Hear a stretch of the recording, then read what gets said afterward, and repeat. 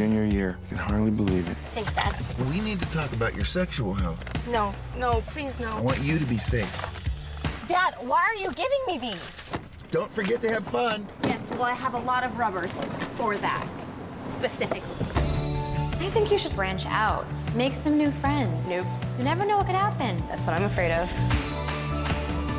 My letters are my most secret possessions. I write them when I have a crush so intense, I don't know what else to do.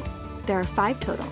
Peter, the most popular guy in school, Kenny from camp, Lucas from homecoming, John Ambrose from Model UN, and Josh, but he's my sister's boyfriend. What are you doing? Nothing? Nobody else knows about them. Hey, can I talk to you? I, I really appreciate it, but it's never gonna happen. I'm sorry, what? I think it's really cool that you think I have golden specks in my eyes. Oh my god, it's Josh. Oh my god. Oh, Okay. The letters are out. Women. Tell me about it. Here's the thing. I had to make it look like I liked you so somebody else wouldn't think I liked them.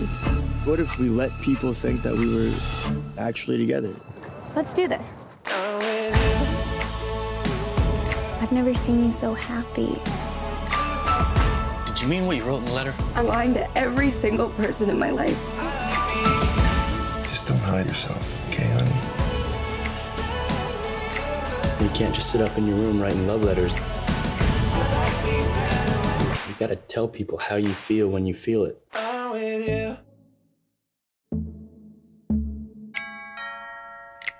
You never saw me.